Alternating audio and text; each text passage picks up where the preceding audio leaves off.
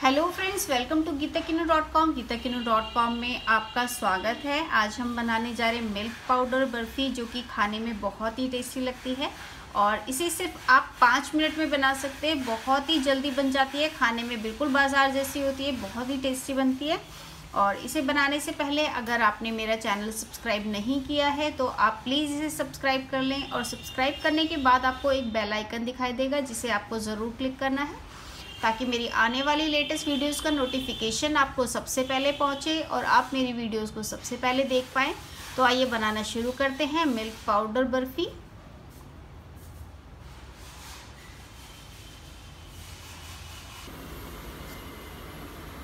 Milk powder barfi बनाने के लिए हमें चाहिए half cup milk powder half cup दूध थोड़े से पिस्ता और बादाम जिन्हें मैंने बारीक काट लिया है। वन टेबलस्पून देसी घी। मैंने यहाँ पर चीनी नहीं ली है क्योंकि जो मेरा मिल्क पाउडर है, बहुत ही मीठा है। मैंने यहाँ पर नेस्ले एवरीडे का मिल्क पाउडर लिया है। आप जो भी मिल्क पाउडर लें, आप पहले टेस्ट करके देख लें कि वो मीठा है या नहीं है। अगर मीठा नहीं है तो आप उसमें वन फोर्थ कप चीनी ऐड कर दें।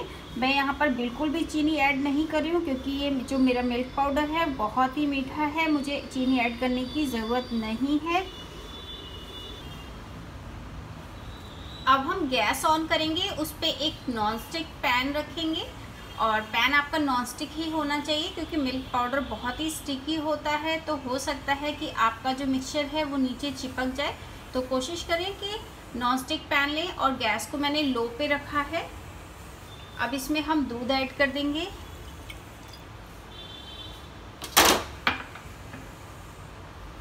घी ऐड कर देंगे। मिक्स कर देंगे इसे।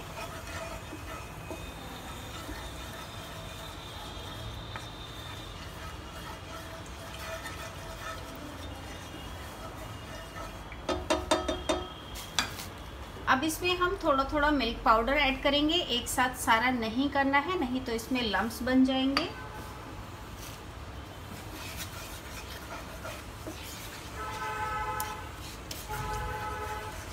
ये देखिए, इस तरीके से हम मिक्स करते रहेंगे इसको।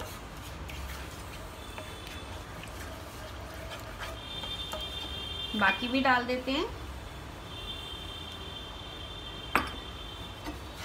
मिक्स कर देते हैं।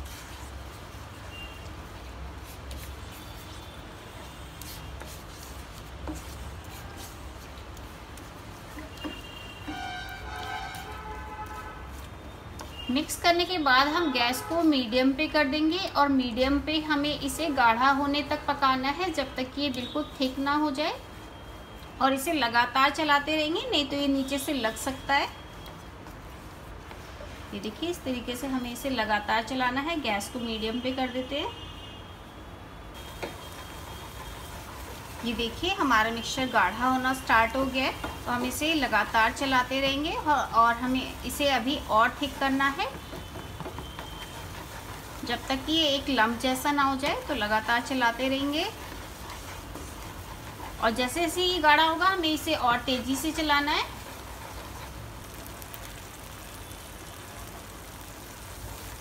हमारा मिक्सचर काफ़ी गाढ़ा हो गया है। हम गैस को लो पे कर देंगे। और इसे अभी भी हमें और चलाना है।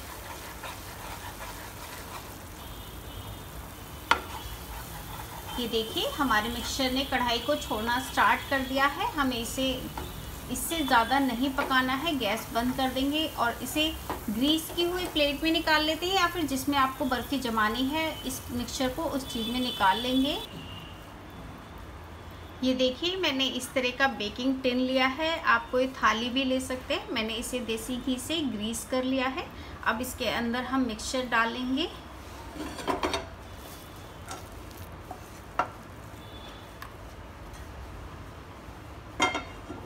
और इस मिक्सचर को हमें बिल्कुल बराबर करके फैलाना है। आप कोई फ्लैट चीज़ ले लें जिससे आप इसे बराबर फैला पाएँ। इस तरीके से हम इसे बिल्कुल फ्लैट कर देंगे।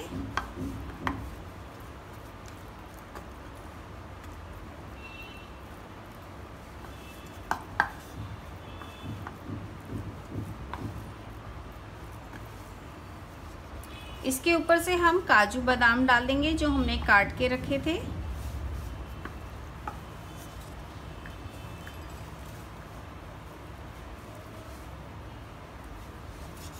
दबा देते हैं इसे ताकि ये चिपक जाए इसमें।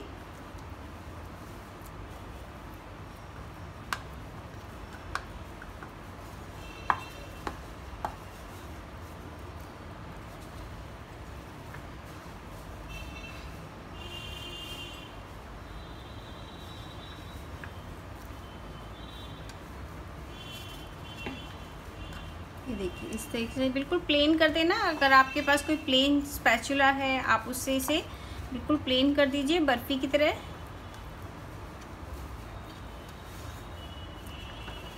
ये देखिए। और अब हम इसे ठंडा होने के लिए छोड़ देंगे। आप चाहे तो इसे फ्रीज़र में 10 मिनट के लिए रख सकते हैं। ये बिल्कुल सेट हो जाएगी।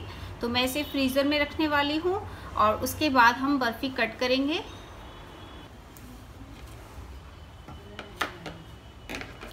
ये देखिए, हमारी बर्फ़ी बिल्कुल सेट हो चुकी है। मैंने इसे फ्रीज़र में रख दिया था थोड़ी देर के लिए और अब ये बिल्कुल सेट हो चुकी है। हम पीसेस कट कर लेते हैं इसके। पहले साइड से इस तरीके से करेंगे।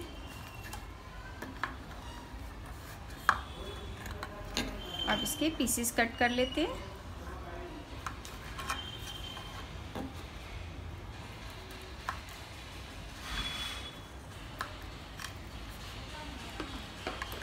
निकाल लेते हैं।